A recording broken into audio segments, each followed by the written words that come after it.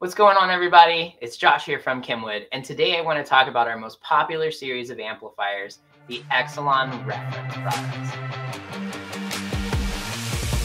So first and foremost, our Excelon reference category is the best of the best of what Kenwood has to offer. If you've never heard me say that before, you've heard it one more time to add to it, but that's because it's the truth. Now within this though, we also have several different variations of Excelon reference amplifiers. For example, we have two different mono blocks, one that delivers 600 watts RMS, which is our XR601-1, another one for those extra output options being the XR1001-1. On the other side of life though, when we're looking at full range, we have our XR401-4, which I think is one of the best bangs for your buck when you're looking at a full range four channel amplifier. And then my personal favorite that's found within the category, the XR9015. So let's talk features. And in this case, I want to use the XR9015 to really break down some of the features that are found within our Excelon reference amplifiers. First and foremost being high-res audio certification. That means that this amplifier was built with all of those high quality components to make sure that it can meet the strenuous specifications found to gain that badge of honor.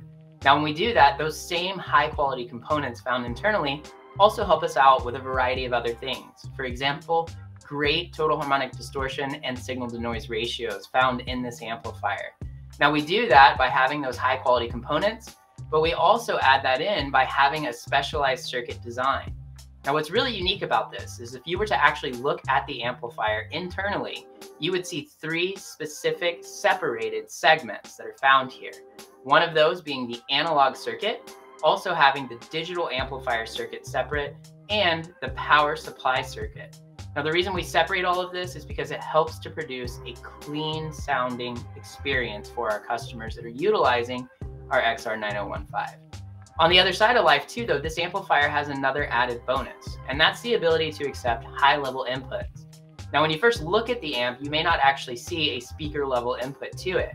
And that's because our amplifier doubles for the low level, also being the high level input side of it.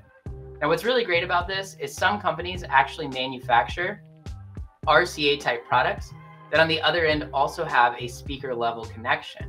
So in this case, we can utilize those, run those frequency ranges into this amplifier, and we have a signal sensing circuit that will also use that high level input to activate the on off feature needed for an amplifier in the installation. As an added bonus, we even include a bass knob for you in the box on our XR9015. So there you have it. I highly encourage you to check out our Excelon reference series of amplifiers.